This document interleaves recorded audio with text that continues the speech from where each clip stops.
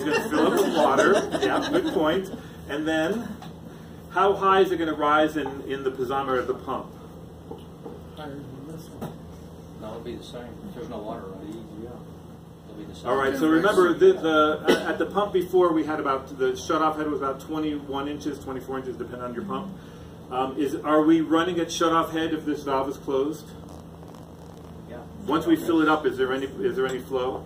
No, there's no flow. So it should rise here and here to the um, to the shutoff head. All right, so let's see that. Um, it's going to take a, a minute or three to fill up this pipe.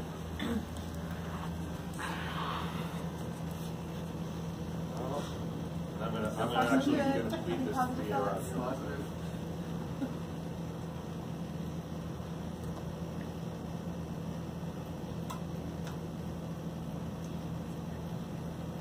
Okay. So um, we were having a question, uh, a short discussion on hydraulic, hydraulic grade line. And the hydraulic grade line is the combination of pressure head and elevation head. All right, and it does not include vol um, velocity head. So anywhere, if this is, say, two feet where Jeremy is, what's the pressure in the pipe right here? One.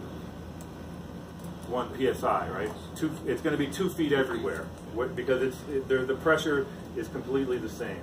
Now, what happens when I open the valve here? We get some flow. Now, first of all, do you do you agree that the piezometer here reads the same level as there? Mm-hmm. Okay. So what's going to happen when I open the valve there? This will drop. This will drop. Will this one drop? No. Okay. This is shut off head. So remember on the pump curve, sides are on. it will it will drop some.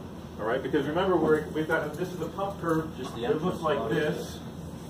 Where right now the flow is zero, so we're right here. As soon as we get a little bit of flow, the head starts starts dropping off too. The minor lock. Yeah. Yeah, the head will start dropping off because I start moving down the pump curve. All right. Now, do you expect that the water, the level of the water in this pump, excuse me, in this piezometer, is going to be higher or lower than the level here? Which is higher? And and this is going to be lower. Why? Head loss. head loss. It's friction loss as the water moves through here. Okay, and we, we're not measuring any loss there. Now, this is, as we stand, this is a hydraulic grade line. Okay, the hydraulic grade line is how high water would rise in a piezometer. Okay, and you can just connect the dots from there to there if you're drawing the, the, uh, the hydraulic grade line. But, what, where does the water start? The hydraulic grade line starts here, okay, before it hits the pump, and the water, the hydraulic grade line would connect to the water. You put a dot on the water, and then usually the way they draw with the pump, it just goes straight up to that point, okay? Because this water does not have any energy at all if the water level is zero, and then we add, the pump is adding energy, okay? It's adding pressure and elevation, some combination of that up to there. So we go from zero up to two feet, and it's still two feet. Now I'm going to open this valve.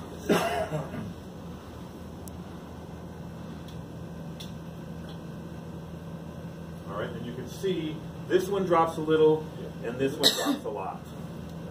Okay? Again, friction loss. So how could I increase the difference, that is have a greater difference between that one and that one?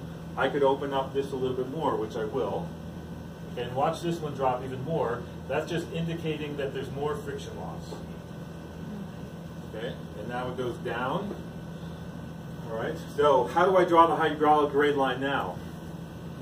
Connect the piezometers. Goes from here to there. And then what's the last point? The last point is the nozzle right here.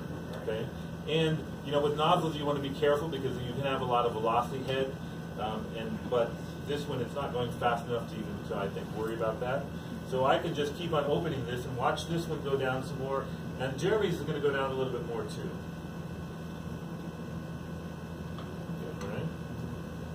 So we're almost down to like very little pressure at that point. But and the reason is because I but I'm still getting flow here. So drawing the hydraulic grade line now, connect the two piezometers and the water level here. Okay. Now if this is filled up, does it matter where the nozzle is or if this basin has water in it? Where do I where's that last point of the hydraulic grade line? It's the water surface. Okay, right now the nozzle is underwater. Okay, and I and if we wanted to, we could actually calculate, you know, by measuring the difference. In fact, um, let's do that. Where do we have? Uh, somebody have a ruler? You wanna stop it, cause it's running out of water? Oh.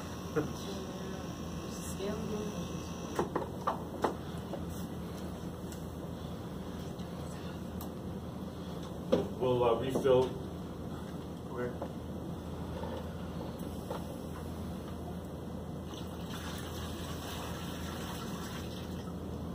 Yeah. Okay. Um, Hope, if you can uh, measure, let's, uh, we got to get this started again, and measure the difference. Um, and you can just measure from, let's, uh, it, it's really from the, you know, we need, is this table the same height as that table? Yes, Yeah. So you just put it on the table and measure this. Okay. But we, um, all right, let's, uh, turn this on.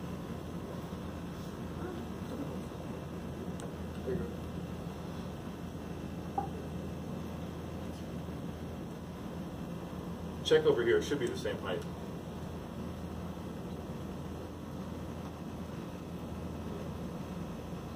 Two point two. So they're both at two point two feet right now, I'm gonna open this valve, and we'll see the pressure loss, the friction loss in that tube. Alright?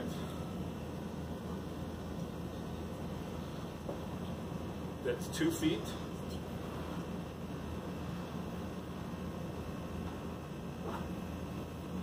And that's 1.2 feet, so it's 0.8 feet friction loss, and this is a 10 foot uh, tube, all right?